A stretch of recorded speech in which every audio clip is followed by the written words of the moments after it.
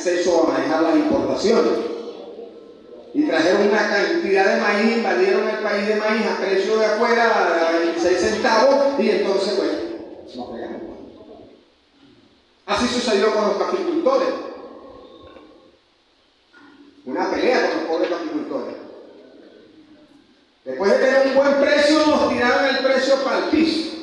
Y la roya comiendo, y la, la, la, peste comiéndolo. Y ninguno dijo, no, le bajamos el precio, pero le estamos matando la, la plaga que tiene allá. Nada.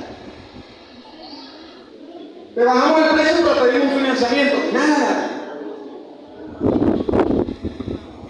Mira, lo importante de nosotros es ir organizando es que eso no nos siga pasando.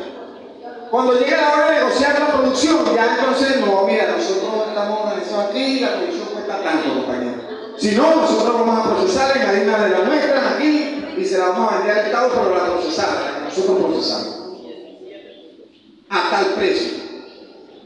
¿Tú quieres mi maíz? ¿Quieres el maíz nuestro? Bueno, paga el precio que cuesta nuestro maíz. Eso es lo importante, ¿ves? Que nosotros